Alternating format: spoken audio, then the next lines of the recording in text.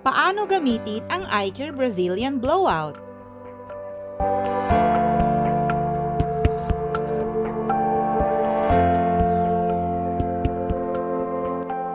Ang iCare Brazilian Blowout ay ginagamit pang straight ng buhok. Ito ang mga kailangan natin.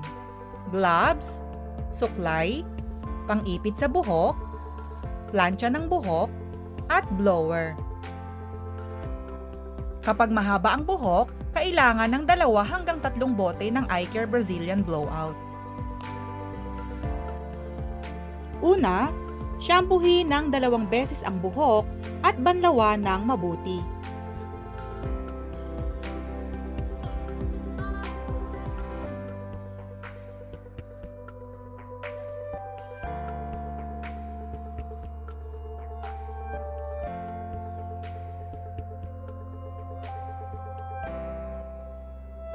Gamit ang towel, tuyuing mabuti ang buhok.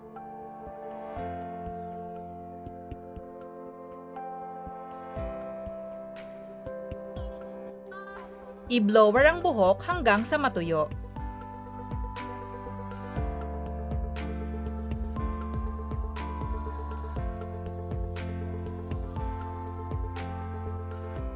Siguraduhing tuyong-tuyo ang buhok.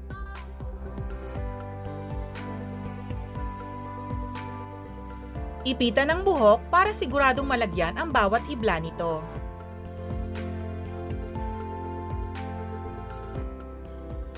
Iwasang malagyan ng eye ang ating mga anit.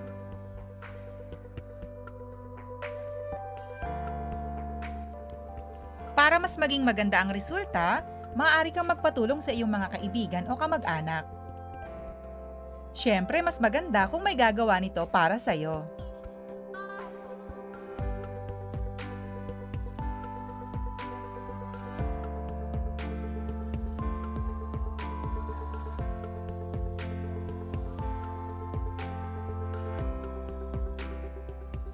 Dapat maipahid ang eye care simula puno hanggang dulo ng buhok.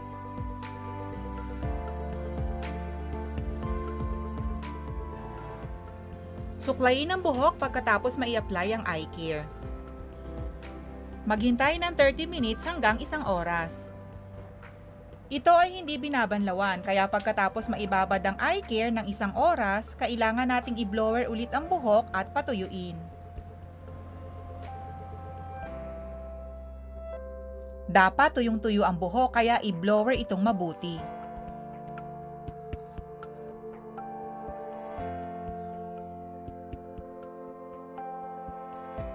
At ito na ang pinakamahalaga sa lahat.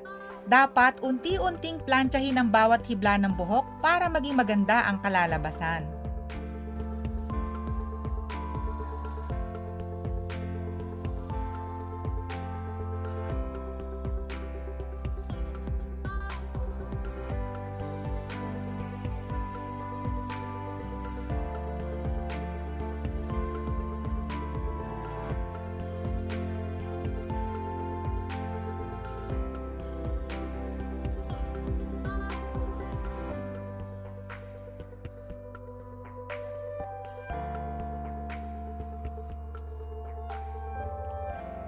Tandaan, nakasalalay sa ganda ng pagpaplantsa at tamang pag apply ang ganda ng resulta.